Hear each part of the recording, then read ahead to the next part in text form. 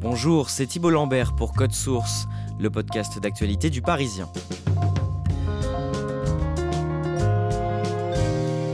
C'était une adolescente de 15 ans, lui en avait 37. Au début des années 70, Francesca G fait la rencontre de Gabriel Matzneff, un auteur réputé, connu notamment pour ses écrits où il étale ses penchants pédophiles. Près de 40 ans plus tard, et deux ans après le livre de Vanessa Springora, Francesca G dénonce dans un ouvrage sorti en septembre la relation sous emprise dont elle a été victime. Elle témoigne aujourd'hui dans Code Source au micro d'Ambre Rosala. Francesca G naît à Rome en 1958 d'une mère italienne et d'un père anglais, mais elle grandit à Paris avec ses parents, tous les deux journalistes, et son petit frère. Adolescente, Francesca est plutôt timide et sérieuse, mais aussi parfois un peu rebelle. Elle a des relations assez conflictuelles avec ses parents, souvent absents à cause de leur travail, et elle se réfugie beaucoup dans la lecture et la peinture. Au début de l'année 1973, alors qu'elle a 15 ans, ses parents se séparent et Francesca le vit très mal. Mon père a plus ou moins disparu. Ils ont envoyé mon frère euh, dans un pensionnat en Angleterre et moi je suis restée seule avec ma mère. Ma mère était très stricte, mais pas spécialement euh, causante, disons. On se parlait très peu. Puis ma mère était en dépression. Du coup, il n'y avait plus du tout de structure. Enfin, de toute façon, mes parents s'étaient jamais beaucoup occupés de nous, mais alors là, euh, vraiment plus du tout, quoi. J'étais un peu livrée à moi-même. Malgré une ambiance pesante dans l'appartement familial, Francesca termine son année scolaire avec de bonnes notes. Pendant les grandes vacances, au mois d'août 1973, Francesca et sa mère font une sortie cinéma, l'une des rares activités qu'elles font encore ensemble. En sortant de la séance, dans le quartier latin, elle tombe sur Gabriel Matzneff, une vieille connaissance de la mère de Francesca. Ma mère, je crois, a dû le reconnaître. Et puis ils ont commencé à parler, et puis ils ont décidé d'aller prendre un verre. Donc on est allé sur une terrasse, euh, place Saint-Michel. J'ai pas tellement fait attention à lui au départ. En écoutant, je me suis rendu compte que c'était un écrivain. Pour moi, c'était juste. Enfin, mes parents fréquentaient pas mal de monde et c'était juste une personne de plus, quoi. C'était ça. Quelques jours plus tard, sa mère invite Gabriel Matzneff à dîner. Pendant le repas, il s'intéresse à Francesca et lui pose de nombreuses questions sur sa vie. Plusieurs jours après ce dîner, l'écrivain appelle chez l'adolescente, alors qu'il sait que sa mère est au travail. Il me dit plein de En fait, il m'étourdit de paroles et il me fait comprendre qu'il connaît plein de gens haut placés. Voilà, puis qu'il appartient à une sorte d'élite littéraire en plus, tout en me flattant beaucoup, tout en me faisant euh, comprendre que pour lui, je peux être quelqu'un de très important, etc. Et je crois que je disais pas grand-chose et que j'étais, je me sentais un peu submergée. J'étais pas très habituée à une à ce que les adultes s'intéressent tellement à moi. Et là, euh, oui, il m'a fait, il m'a sorti le grand jeu, quoi. Et puis il s'est arrangé pour euh, pour m'arracher un rendez-vous. Et ça a commencé comme ça. Deux jours après cet appel, Francesca se met en route sans trop réfléchir pour retrouver Gabriel Matzneff. Donc on s'était retrouvé à Saint-Michel et donc on va se promener le long de la Seine. Et puis arrivé à un certain endroit, il dit bon ben là on s'arrête et puis il commence à m'embrasser. Il a tout de suite commencé à dire qu'il avait besoin de moi, que sans moi la vie était impossible. Enfin je regarde un souvenir très désagréable. Je me sentais vraiment euh, dépourvue, enfin sans j'avais pas les ressources pour faire face. J'osais pas dire non. Je me suis tout de suite retrouvée dans une situation où je ne décidais plus de rien. Prise au piège, Francesca continue de voir l'écrivain. À la rentrée, il loue même une chambre d'hôtel près de son école d'art appliqué pour qu'ils puissent se voir plus souvent. Ils ont des rapports sexuels, mais Gabriel Matzneff lui demande de garder tout cela secret. Très vite, la mère de Francesca apprend qu'ils se fréquentent. Hors d'elle, elle contacte un avocat qui lui explique que comme Francesca a 15 ans, elle ne peut pas porter plainte. La mère de Francesca s'en prend alors à l'adolescente, elle la dispute régulièrement, la punit, et Francesca se réfugie des semaines entières chez sa meilleure amie pour ne pas subir la colère de sa mère. Gabriel Matzneff, lui, profite de cette relation conflictuelle entre la mère et la fille pour éloigner Francesca de ses proches.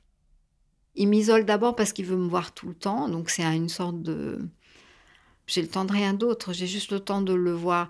Je vais à l'école, je le vois lui, je rentre chez moi. Donc, euh, Et puis, il avait tout un discours sur le fait qu'on était... Euh, euh, que lui était un homme supérieur, que moi, du coup, j'étais aussi quelqu'un de supérieur, que si je l'aimais, je n'avais besoin de voir personne d'autre. Alors j'avais quelques copines qui étaient plus ou moins autorisées, mais enfin, c'était pas, pas grand-chose. En fait, c'est lui qui décidait de ce que je faisais, de mon, pratiquement de mon emploi du temps. Quand Gabriel Matzneff part une semaine à la campagne pour travailler sur un roman, il demande à Francesca de lui écrire des lettres, plusieurs fois par jour, pour lui témoigner de son amour. Le roman, qui sort au début de l'année 1974, raconte l'histoire d'un écrivain qui vit très mal son divorce et qui rencontre une jeune fille de 15 ans prénommée Angiolina. Quelques mois plus tard, l'écrivain publie un autre livre, Les moins de 16 ans, un essai dans lequel il vante les relations entre adultes et mineurs jusqu'à 15 ans. Et il offre le livre à Francesca. Et puis là, je découvre qu'il a mis mon prénom et qu'il a utilisé mes lettres.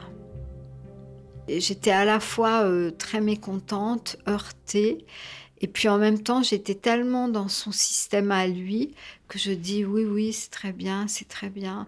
C'était assez ambivalent comme réaction. Je lui ai reproché d'avoir utilisé mes lettres. Enfin, je trouvais ça vraiment incorrect. J'avais l'impression d'une violation de mon intimité. Euh, mais bon, il a balayé ça comme il balayait tout. Et sur le moment, je ne sais même plus si j'ai été choquée ou pas par le contenu des moins de 16 ans. Euh, j'étais surtout très inquiète d'être reconnue avec mon prénom et tout ça. Après l'apparition de ce livre, les disputes se multiplient. Francesca a souvent envie de le quitter, mais elle a peur de sa réaction. Jaloux et possessif, Gabriel Matzneff pique des colères, fouille dans ses affaires, l'humilie à la moindre occasion. Et la santé mentale de l'adolescente de 16 ans se dégrade. Il euh, suscitait euh, tout le temps des situations où j'allais me braquer et me mettre en colère. Mais je m'en, mais j'en étais même pas vraiment consciente parce qu'il me disait mais c'est toi qui es folle, regarde comment tu réagis. Et donc je me sentais coupable. Je me disais mais c'est moi qui j'ai un problème. Pourquoi je me mets en colère comme ça?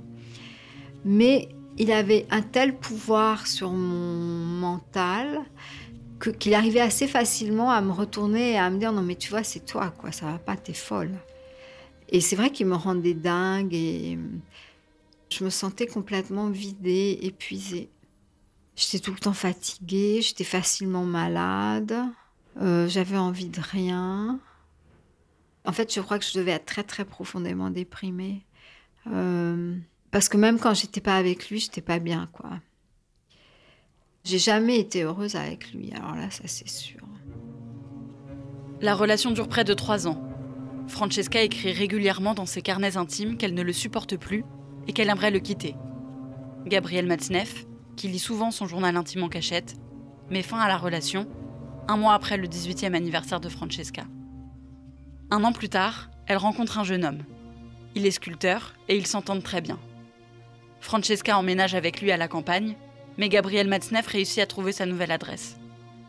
Il lui écrit très souvent, et le jour de ses 20 ans, elle reçoit une enveloppe avec à l'intérieur un livre qu'il vient de sortir et qui s'appelle 12 poèmes pour Francesca. Il y avait mon prénom, ma photo. C'était vraiment calculé pour, pour arriver le jour de mes 20 ans. Quoi. Et hum, je crois qu'il essayait de mettre la zizanie entre moi et le garçon là, avec euh, qui est mon fiancé avec lequel je vivais à l'époque. J'essayais de, de, me faire de construire ma vie. Et puis lui, il voulait absolument pas me lâcher en publiant des, bouquins sur moi. C'était juste insupportable. Je n'avais aucune arme. Il avait énormément de ressources euh, parce qu'il était très protégé je pense qu'à ce moment-là, j'ai compris que j'allais jamais me, débarrasser de lui, quoi. Et en même temps, j'étais, euh, je pouvais rien faire. Alors, je, crois que j'ai juste, euh, comment dire, euh, ravalé ma colère ou, ou mon effroi, et puis j'ai continué à vivre. Francesca et son compagnon finissent par se séparer. Gabriel Matzneff continue de parler d'elle dans ses livres ou dans ses chroniques, le plus souvent en l'insultant, et de publier sa photo sans son consentement. Mais Francesca continue de vivre sa vie. Elle se lance dans une carrière de journaliste et pendant 15 ans, elle déménage aux quatre coins du monde. Elle vit à Londres, Bruxelles, New York ou encore Madrid parce qu'elle aime voyager, mais surtout pour fuir Paris et Gabriel Matzneff. Elle rentre en région parisienne un peu avant de fêter ses 35 ans, et c'est à ce moment-là, notamment en relisant les lettres qu'elle écrivait à Gabriel Matzneff, qu'elle prend conscience de la gravité et de la violence de ce qu'elle a vécu adolescente. Et donc je me pose, ou plutôt presque je m'effondre, à Fontainebleau. C'est pas que j'avais oublié les fêtes, mais j'avais oublié toutes les sensations et les sentiments qui étaient attachés à ces faits. Et là, en lisant les lettres, ben, je suis bien obligée de revoir, de voir qu'il y avait bien des sensations et des sentiments et, beaucoup de colère et beaucoup de chagrin. Je trouve ça désespérant, quoi. Je me dis, mais pauvre petite fille. Hein. C'est comme si j'avais eu une sorte de voile noir devant les yeux qui m'empêchait de voir la réalité. Et, puis à un moment où le voile noir a été complètement retiré, et là, euh, c'est devenu clair, quoi. Francesca ne veut plus se laisser faire alors elle se lance dans l'écriture d'un livre pour rétablir la vérité. En 2004, Francesca présente son manuscrit à plusieurs maisons d'édition. Les quatre premières refusent de la publier, mais on lui propose de transmettre son manuscrit à une cinquième maison d'édition. La dernière, euh, donc Grasset, réussit à me faire euh, miroiter une, publication, puis en me disant mais non, mais euh, il faut changer, il faut faire ceci, il faut faire cela. Puis au bout de deux ans, je suis complètement dégoûtée. Et puis ils arrivent à me faire croire que je suis juste pas capable d'écrire, quoi. Et ce que je ne savais pas, c'est que ces gens-là étaient en fait des amis proches de Matzneff, mais je ne pouvais pas le savoir à l'époque. En plus, c'était juste avant la, dernière réédition des moins de 16 ans. Donc il y avait tout un, plan comme ça de, de, com pour ressortir les moins de 16 ans et puis en remettre une couche sur le fait que voilà, c'était un, sujet extrêmement littéraire et, raffiné, qui avait tout à fait sa place dans la culture française, etc. Et du coup, bah, c'est vrai que s'il y avait euh, la dédicataire des moins de 16 ans euh, qui l'accusait d'être juste un, sale type, euh, ça, ça, aurait fait désordre. Donc il fallait m'empêcher de publier ce livre. donc je, je me fais balader, quoi. Voilà, je perds mon temps et je me fais balader. Épuisée, Francesca abandonne l'idée de publier ce livre et elle quitte Paris.